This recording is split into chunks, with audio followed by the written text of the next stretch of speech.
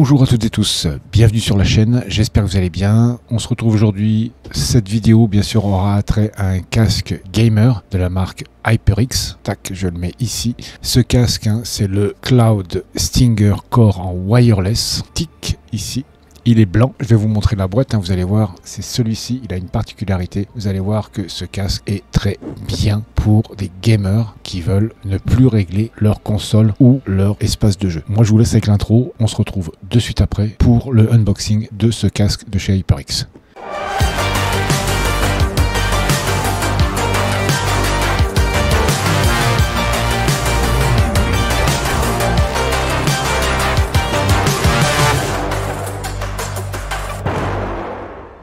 Alors déjà, vous pouvez voir que la boîte hein, est très bien faite. Euh, c'est une boîte qui est un peu plastifiée. Alors vous pouvez voir ici, hein, elle est bien compatible PS4, PS5, PS4 Pro et PC.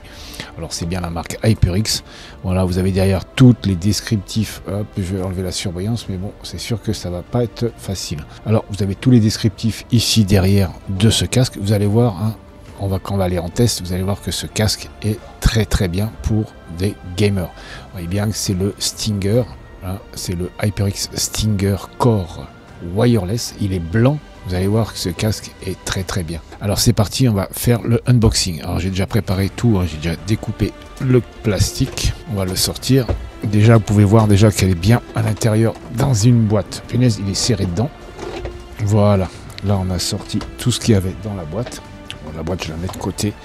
Alors bien sûr, comme d'habitude, hein, dans la boîte, vous avez le fascicule de mise en service de votre casque. Mais bon, ça après, hein, c'est facile à s'en servir hein, parce qu'il est plug and play ce casque. Alors ça, on va le mettre à la poubelle. Voilà, vous voyez bien ici, il est bien protégé. Il est bien ici, vous avez déjà un plastique coqué avec des arrêtoirs. Ça va faire un peu de bruit. Voilà. Alors déjà, une, vous avez ce câble qui fait 50 cm.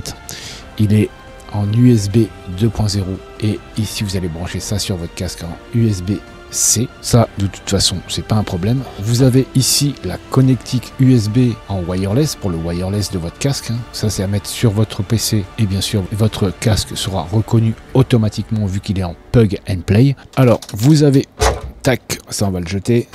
Hop, c'est fait. Alors voilà, ce casque, hein, à proprement dit, a une particularité, c'est que quand vous êtes en jeu comme ceci et que vous avez un coup de téléphone ou autre chose, quelqu'un vous parle à l'extérieur, vous relevez votre micro et ça coupe le son du micro. Vous allez voir tout ça, bien sûr, quand on va le tester, je me mettrai la caméra face à moi, vous verrez bien la différence avec le son du micro du casque baissé et relevé. Ce casque, bien sûr, il a une apparence plastique, après, vous avez ici des arceaux métalliques avec le câble central ici qui passe au milieu.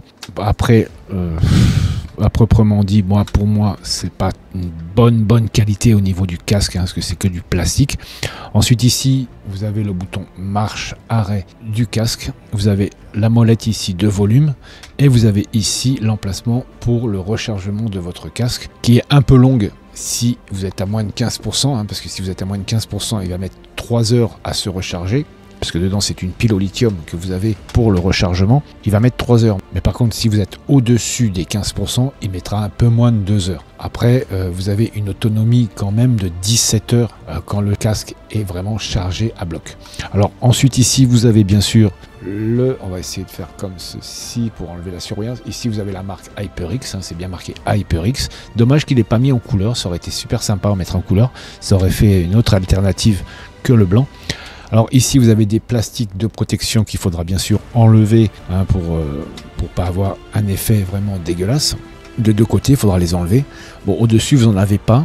À l'intérieur, vous avez une espèce de petite mousse. Ici, vous avez une petite mousse, mais c'est de la mousse, hein, c'est pas de la mémoire de forme, c'est de la mousse. Vous avez ces deux bonnettes qui sont en simili-cuir ici, deux bonnettes ici qui sont en simili-cuir, qui sont respirables. À l'intérieur, bien sûr, il y a une espèce de petite feutrine à l'intérieur qui est quand même assez sympathique. C'est déjà pas trop mal pour ce casque. Alors maintenant, on va partir vraiment en test. On va voir ce que vaut vraiment ce casque alors là maintenant je passe directement hein, via le micro du casque. Alors vous pouvez bien constater hein, que le micro ici, le fifine, il est éteint. Si je fais ça, il est allumé. Tac, il est je l'éteins. Le son ne passe plus par le micro qui est sur le bras, mais vraiment le micro qui est sur le casque.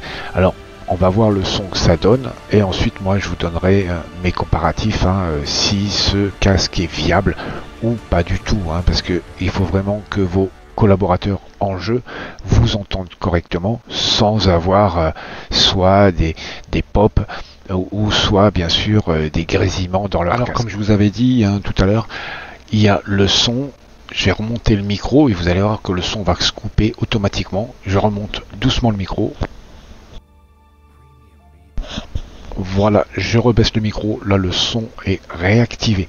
C'est-à-dire que vous avez, quand vous levez le micro, automatiquement le son se désactive pour que vous puissiez être vraiment tranquille sans avoir à toujours toucher une molette ou un, mute, un bouton mute que vous avez sur le casque. Ça c'est vraiment désagréable à chaque fois vous devez chercher votre bouton mute sur le casque, mais là automatiquement vous levez votre micro et vous avez plus de son bien sûr comme je disais si vous levez votre micro mais ça c'est très très bien c'était un très très bonne euh, invention qu'ils ont faite sur leur casque.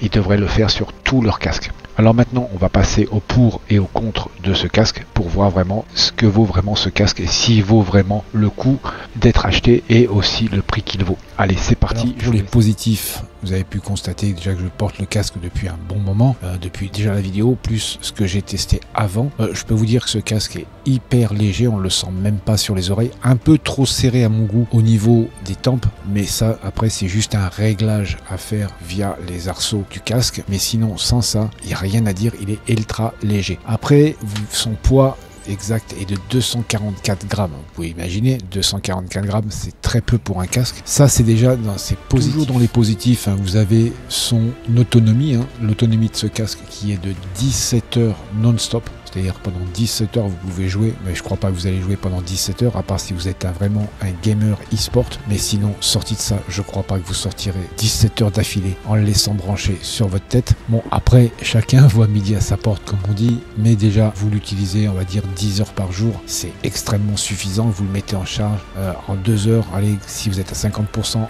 1 heure et demie, voire 2 heures, il est chargé. Si vous êtes à moins de 15%, il sera chargé en 3 heures. Ça, c'est un peu dans les négatifs. Mais sinon, encore dans les positifs, il y a bien sûr le système sans fil. Ça, c'est très bien. Vous n'êtes pas encombré par des fils. Vous pouvez vous lever, aller vous faire un café? Vous avez toujours le son dans, la, dans le casque. Ça, c'est très bien aussi. Une autre chose qui n'est pas négligeable non plus, c'est le micro qui est désactivable. Ça, c'est un très très bon point pour ce casque. Hein.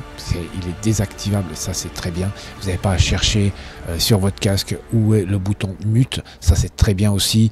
Il y a aussi d'autres choses qui sont pas négligeables sur ce casque. Il y a sa compatibilité aussi, qui il est compatible hein, sur PS4, PS4 Pro, PS5, PC, Mac. Ça, ce, casque, il est, on va dire, multifonction. Au niveau de, au niveau de trois consoles, hein, vous pouvez le mettre sur branché sur trois consoles, hein, la PS4, la PS4 Pro et la PS5, et aussi sur un ordinateur tel le un PC, même un PC portable. Et l'adaptateur, bien sûr, qui est sur votre PC ou sur votre console, il est plug and play. Il est reconnu systématiquement. Ça, c'est très bien. Vous n'avez pas, bien sûr, à chercher dans les paramètres pour le réglage, pour le mettre en route et tout. Non, là, il se met directement et il est plug and play. Ça, c'est très bien. Ensuite, dans les négatifs, je dirais que c'est son aspect plastique. C'est-à-dire que ici, c'est du plastique. Ici, tous les arceaux, hein, bien sûr, sont en plastique. On va dire plutôt que c'est son aspect plastique. Ils auraient pu y mettre un peu de métal. Ça aurait peut-être pris un peu plus de poids, mais